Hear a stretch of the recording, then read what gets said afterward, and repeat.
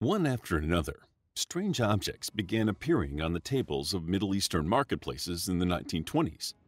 They contained weird, almost alien looking symbols that no vendors or shoppers had ever seen.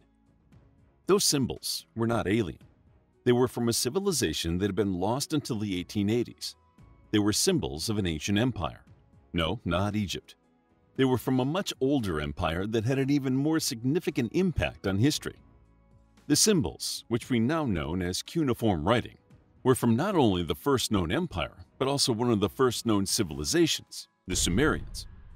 The rise of the Akkadian Empire, which united the Semites and the Sumerians, was a stark turning point in Mesopotamian history. Its influence would echo throughout the centuries and cultures, influencing conquerors and world powers alike.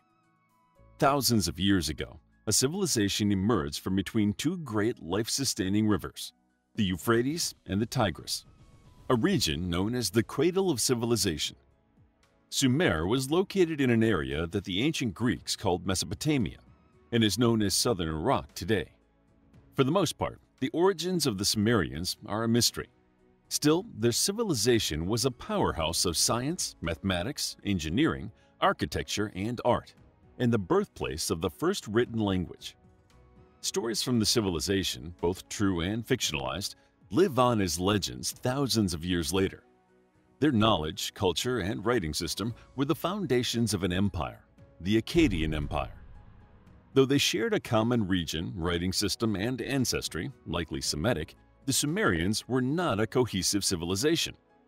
Sumer was composed of numerous city-states, most of which were sovereign entities. Each would have a king of its own, but evidence shows that there was perhaps at least one ruling queen. Religion was an integral part of the civilization, and the people built their lives around it. Each city-state had its patron god or goddess, which the people believed protected the city and ruled over their affairs from the heavens.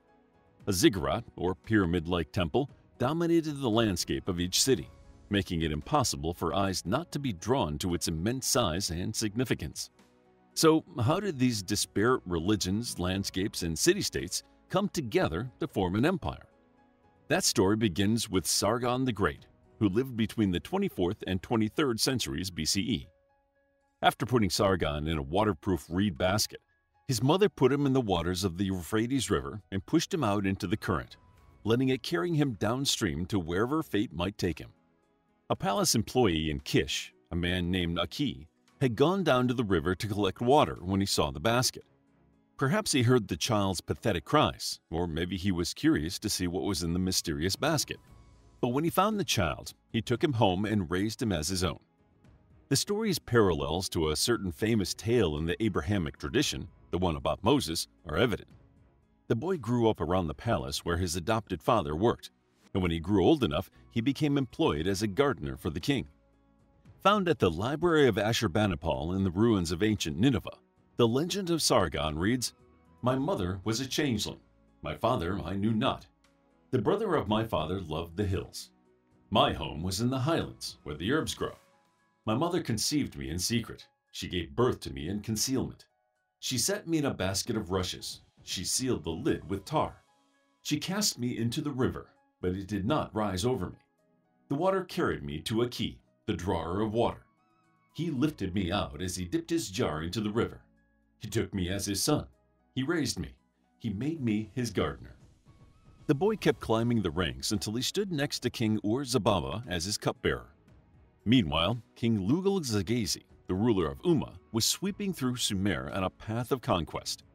He sought to unite the disparate city-states throughout the region and had the most successful military campaign to date. His plan was working, and aside from gaining power, he was gaining control over much sought-after fertile soil and water sources. Down went the city of Lagash, followed by the conquest of the great city of Uruk. Eventually, only Kish in all its glory remained unbothered. Afraid of a presumed prophecy, Ur-Zababa had attempted to kill Sargon on multiple occasions, but failed. So Sargon joined Lugal-Zaghazi, entered Kish with him, and enjoyed the victory over his former king. Sargon saw the disaster that had befallen his city as an opportunity and made plans to grab it. While Lugal-Zaghazi remained in Kish, triumphantly celebrating his victory, the cupbearer reunited the soldiers of Kish. It is unknown what Sargon's relationship with Ur-Zababa's army was like, but if he had been carefully nurturing its loyalty, this was the perfect time to put it to use. The cupbearer, loyal to no one, would end up following in Lugal-Zaghazi's footsteps, for he would continue the conquest of other city-states. However, he was not simply content with taking control over Sumer. He wanted to conquer the known world. He would start by striking at the heart of Lugal-Zaghazi's conquests, Uruk. Sargon and his army captured Lugal-Zaghazi, took him prisoner, and paraded him in the streets of Nippur.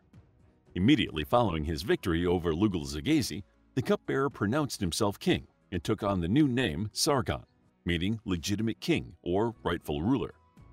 The original legend and other early texts of Sargon's rise to power read like mythological stories. It is probably no accident it was written that way, as Sargon was its author. However, how Sargon built the rest of his empire is better recorded and more founded in reality. But even that story is quite legendary. After conquering the cities of Sumer, clustered within a relatively small area, Sargon saw there was not enough glory in that. To strive for greater treasures, Sargon needed a base, a capital from which to launch his empire-building campaigns into far-flung regions. He settled on building or possibly even rebuilding the city of Agad, known in Hebrew as Akkad. Once his city was built, Sargon set his sights beyond Mesopotamia. After creating the first standing army known in history, he took his trained fighters and crossed the Tigris River and the rugged terrain of the eastern mountains into Elam, a place no Sumerian army had ever gone. Thus Sargon conquered King Awan and the three other leaders of Elam and their cities, bringing them under Akkadian control. He continued north toward the Caspian Sea, capturing lands of various Semitic tribes like the fiercely wild and nomadic Amorites. He and his army then turned west and continued conquering past the Tigris and through the famed cedar forests of Lebanon to the sapphire waters of the Mediterranean Sea. From there, by his account, Sargon crossed the sea and conquered the island nation of Cyprus. Once back on the mainland, he and his army pushed farther north toward the silver heights of the Taurus Mountains in Turkey. He pressed his armies to continue farther west, deeper into Anatolia. But it was here that Sargon hit the metaphorical wall. After 34 battles, his men had had enough. Forcing the men to continue against their will, past their limits, would not preserve their much-needed loyalty to him. So Sargon returned home. After his victories, Sargon is said to have washed his weapons in the upper and lower seas, the Mediterranean Sea and the Persian Gulf. This act was largely symbolic, a ritual cleansing. It signified that he had reached the end of the world and that there was nothing left to conquer. Sargon's military campaign, however, had not been all mayhem, carnage, and the piling up of bodies. In Asia Minor, the people of Perush Khanda sent him a message asking for his help against their cruel and oppressive king, Nur-Dagan. Sargon smartly stabilized his vast new empire by ensuring it was unified, well-organized, and well-connected. So he constructed roads, made crucial trade routes more accessible, and secured significant trade routes on land and by sea, even claiming to have sent ships as far as India. With those all-important trade routes under his control, Sargon had the wealth of various parts of Mesopotamia within his reach. His trade route system also paved the way for wood and precious metals to be sent down the rivers to Akkad. A new standard for weights and measures was established, along with a state-run tax system that would keep local corruption to a minimum. He improved irrigation, which helped prevent drought and famine. Like any good ruler, he ensured that the weak, mainly widows and orphans, were protected.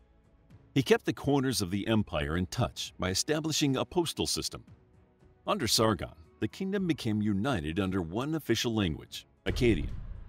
He brought a variety of languages, cultures, and lands under the umbrella of one empire and one supreme ruler. He spearheaded a new way of doing things, breaking the old order and creating a new one. But these reforms did not go over well. The working class people of the empire admired him. To them, he was a heroic liberator and a masterful reformer. The ruling elite, however, did not have such rose-tinted glasses.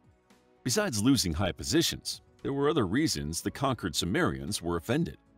They had not achieved their positions through merit and hard work, they believed the gods divinely appointed them.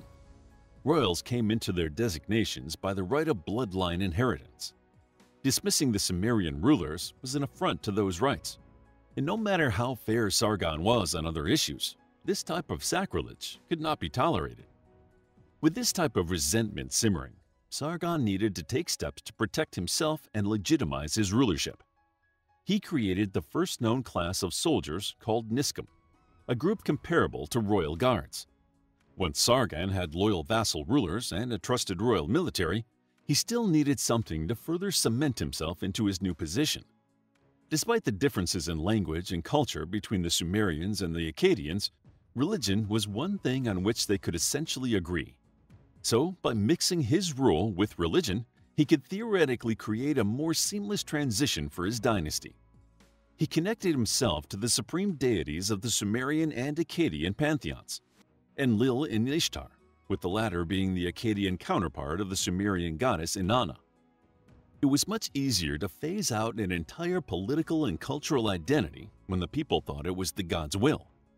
But though Sargon was slowly wiping away traces of Sumerian culture and systems and replacing them with Akkadian ones, the Sumerians did not forget that their once great culture existed. As can be imagined, many of them did not take too kindly to suddenly becoming foreigners in their cities.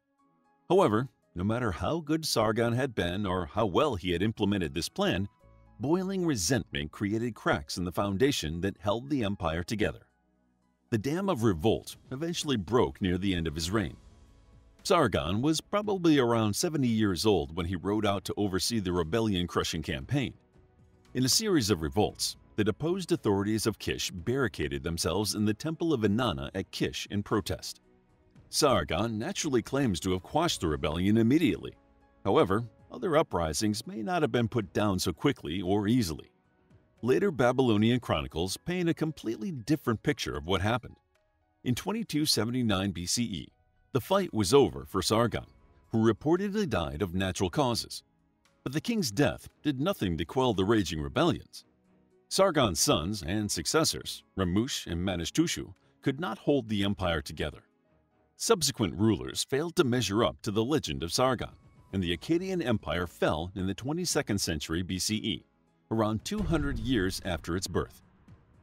How would you like to get a deeper understanding of history, impress your friends, and predict the future more accurately based on past events? If this sounds like something you might be into, then check out the brand new Captivating History Book Club by clicking the first link in the description. To learn more about the Akkadian Empire, check out our book, The Akkadian Empire a captivating guide to the first ancient empire of Mesopotamia and how Sargon the Great of Akkad conquered the Sumerian city-states.